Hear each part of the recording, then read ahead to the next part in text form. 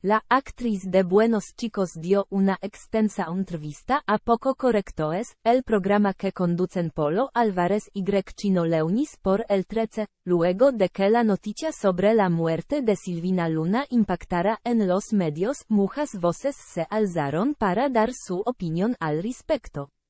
Y en su caso, Romina Gaetani también compartió una profunda reflexión en Poco Correcto es, el programa que conducen Polo Álvarez y Chino Leunis por el 13.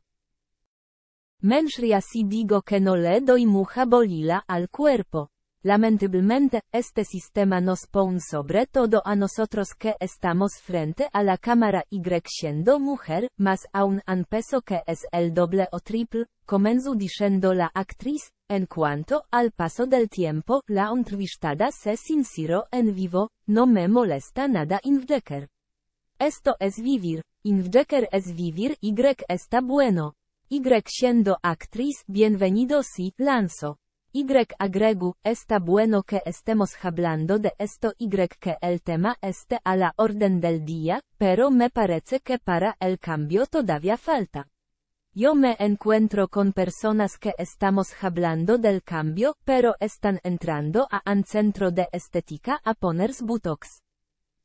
Incluso yo misma que te digo que no me molesta Invjecker, digo, uy, tengo esta arruga de más.